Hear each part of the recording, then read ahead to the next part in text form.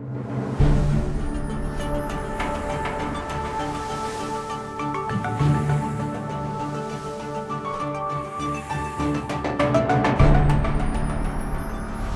Jó reggelt kívánok, köszöntöm kedves nézőinket! Változóan felhős idővel indult a mai reggel csapadékra, és csak elszórtan húszellingózás, ónorszitálás formájában számíthatunk. A szél kezdetben mérsékelt lesz, majd a déli órákban egy hidegfront érkezik, és erőteljesen megélénkül a széljárás. Helyenként viharos lökésekre is készülhetünk.